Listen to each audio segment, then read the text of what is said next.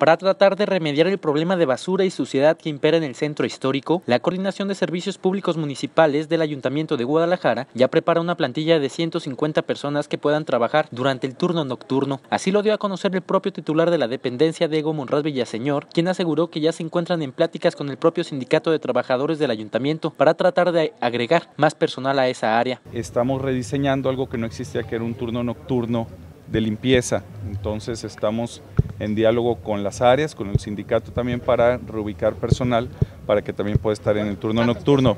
Incluyendo esto también el programa de empleo temporal, que como ustedes saben se incorporarán 150 personas que estarán en gran medida, en su mayoría, ubicadas eh, para el centro histórico. De acuerdo con los datos proporcionados por el funcionario, se trata de 150 personas que trabajarían en un horario de 11 de la noche a 5 de la mañana. Tendrían sueldos entre los 6 y 8 mil pesos y sus tareas serían de mantenimiento, recolección de basura y rehabilitación de espacios públicos. Monraz Villaseñor también señaló que los trabajos de remozamiento y rehabilitación de la infraestructura urbana van aventajados. Hasta el momento se han reparado la totalidad de las luminarias, se han repuesto los botes de basura faltantes y ahora se considera multar ya a los comercios que arrojen su basura a la vía pública, pues hasta hoy eran reconvenidos. Con imágenes de Rubén Freire para señal informativa, Omar García.